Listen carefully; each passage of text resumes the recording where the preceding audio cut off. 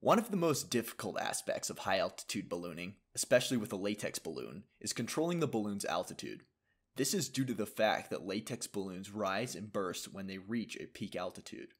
This limits the flight duration and what is able to be tested. Therefore, we sought to design a system that would allow for elevation control. The system developed was a revision of a previous version and employs a valve which utilizes an actuated cone to create a seal. This motion is powered by a rotating lead screw mechanized by a motor controller. Additionally, this system has to be capable of detaching from the balloon and holding pressure at the same time. This was achieved using a collar and was held in place by hinged arms. If you want to learn more about our system, come check out our poster.